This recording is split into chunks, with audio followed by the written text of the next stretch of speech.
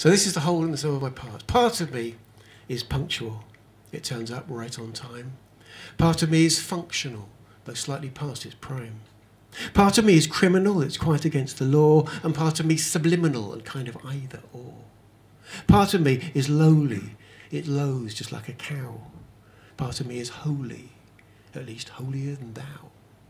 Part of me is actually more solid than it seems, and part of me is but most of me is dreams. Part of me is truculent, don't look that way at me. Part of me is succulent, suck it and you'll see. Part of me detestable, or so people have said, and part of me is suggestible, or so people have said. Part of me is competitive, it only wants to win, and part of me is repetitive, or so people have said. Part of me is interminable. It goes on and on and on and on and on and on and on and on and on and on. This part of me is prolific. It writes reams and reams and reams. And part of me is terrific, but most of me is dreams. Parts of me are distant and yet can seem so near. Parts of me are whispers which the other parts can't hear. Parts of me are broken and tremble to the touch, and these parts can be spoken, but I don't speak them much. Part of me is pensive, I think. but I don't know.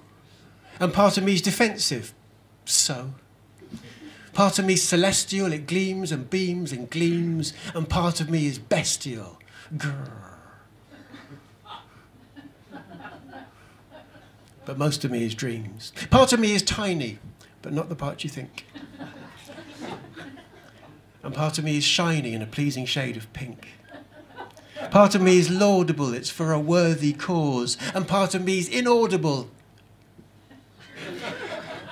Parts of me are latent, lurking dormant underneath. Parts of me are blatant. For some reason, they're called Keith. Parts of me have stamina because I do Qigong, and part of me is my anima, according to the psychology of Carl Gustav Jung. Part of me is piddling, yet full of cosmic yearning. Part of me is fiddling while the rest of me is burning. Part of me is fluent, it flows as sure as streams, while part of me plays truant. But most of me, as I've tried to emphasize here, is dreams. Thank you very much. Thank you.